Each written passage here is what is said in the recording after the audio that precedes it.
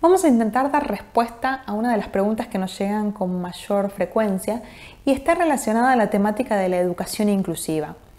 Hoy en día en nuestras aulas nos encontramos con una diversidad de población entre los cuales encontramos a niños con TEA o trastornos del espectro autista. La pregunta es cómo en la clase de música podemos involucrarnos, qué podemos observar, qué podemos trabajar, qué podemos mejorar, qué le podemos brindar, qué podemos sumar a la calidad de vida, a la calidad de la clase, a la calidad de la participación conjunta. Y la verdad es que no hay una respuesta unívoca. Y esto tiene que ver con que somos todos personas diferentes, que tenemos necesidades diferentes, gustos diferentes, perfiles sensoriales diferentes. Entonces realmente esto es conocer a la persona, observarla e intervenir. Tal vez puede ser prueba y error porque a veces no contamos con las herramientas suficientes pero considero que entre todos podemos tejer una red en donde podemos comunicar nuestras experiencias, algunos de nuestros conocimientos, pero fundamentalmente organizarnos para ver cómo llevar adelante esta tarea. Me parece que es fundamental, en principio, realizar un lazo con la maestra que los tiene de lunes a viernes, toda la tarde o toda la mañana. ¿Para qué? Para intercambiar información, para intercambiar conocimiento que ese conocimiento sea enriquecedor para la persona en definitiva y también para el grupo. Entonces eso es primordial. Una segunda recomendación que tengo es el trabajo con pictogramas o usar apoyos visuales. Eso ayuda un montón. En general los niños con TEA pueden llegar a necesitar que le adelantemos qué es lo que vamos a hacer por eso, tener pictogramas en donde podamos señalar, bueno, ahora viene la clase de música. Y la clase de música consta con nuestro saludo, con la actividad y con la despedida. Eso puede llegar a organizar mucho a la persona. Puede facilitar la tarea de ubicarse en el espacio, de saber qué es lo que se va a trabajar, de predisponerlo de otra manera. Otra de las cosas que podemos hacer es con pictogramas también señalar el espacio que vamos a utilizar, si vamos a trabajar en el piso, si vamos a bailar, si vamos a cantar. Em, también reforzar la comunicación con pictogramas, y esto es el silencio, que no solo acompañemos con gestos, sino que acompañemos con una imagen que vaya al lado de nuestro gesto.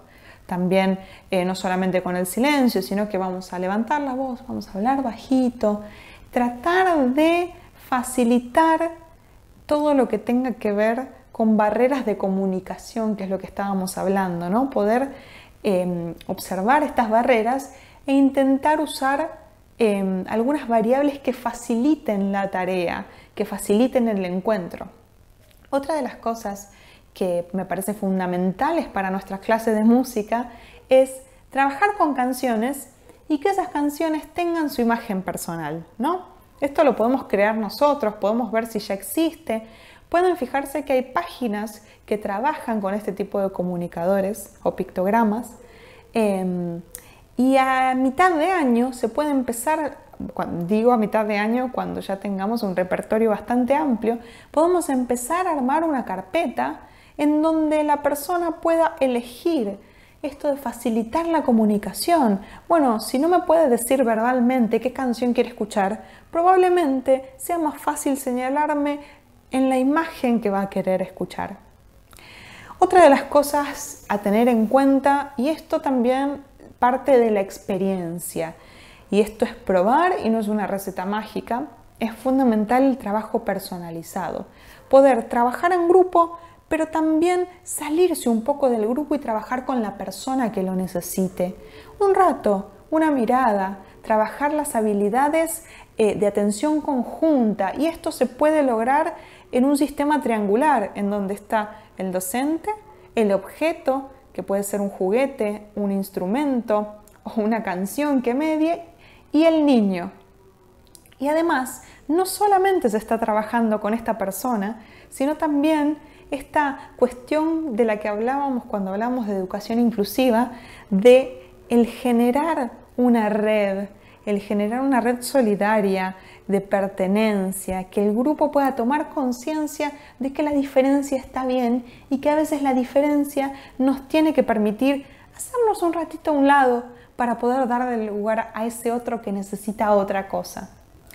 Por último, y esto es un tema por ahí más complejo, pero se los dejo para que puedan empezar a investigar, a leer, son los perfiles sensoriales. Los profesionales que trabajan con los perfiles sensoriales en general son los terapistas ocupacionales.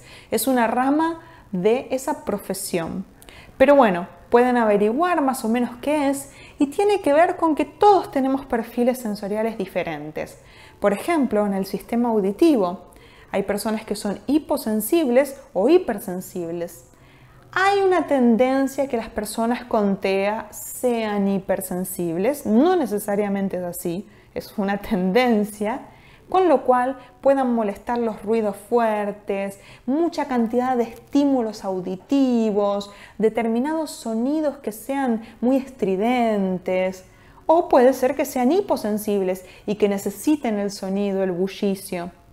Bueno, habrá que observar estos perfiles para ver de qué manera podemos trabajar y cooperar también en conjunto, porque si les molesta el bullicio, podemos trabajar en conjunto los volúmenes y reforzar, bueno, a qué nivel de intensidad podemos trabajar. Eh, también podemos eh, evaluar el sistema vestibular que tiene que ver con el movimiento. No vamos a una persona hipersensible a ponerle a moverse, a girar, porque le va a hacer mal. Eh, también podemos estimular el sistema táctil, depende si lo estimula para bien, puede ser eh, hipersensible y que no le guste tocar diferentes em, eh, texturas. Y también eh, observar el sistema propioceptivo que tiene que ver con el manejo del cuerpo, con el manejo de objetos, si es muy de agarrar, de golpear, de la necesidad de, de estar todo el tiempo moviéndose o si por ahí le cuesta sostenerse, es como más laxo. Bueno, tener en cuenta todas estas variables, tener en cuenta si la luz le molesta, si podemos hacer la habitación más tenue, trabajar de una manera más, más cálida, tratar de que el ambiente sea un poco más familiar y agradable para estas personas. Estas son algunas de las recomendaciones Em, que pienso que pueden ser muy eh, fructíferas para tener en cuenta, para poder observar, para poder intervenir, eh, para hacer que se involucre, eh, para involucrar a los otros en esta tarea que en realidad es de todos. Así que ojalá que esta información les sirva, em, lean, que leer siempre sirve. Por supuesto que después a la hora de hacer, Ahí está la verdad en cada persona, en cada necesidad, en cada encuentro. Eh, cualquier consulta pueden dejar sus comentarios e insisto con esto, intentar dar una respuesta a esta pregunta eh, entre todos. Intentemos colaborar, charlar, dialogar eh, y enriquecernos con la experiencia de cada uno.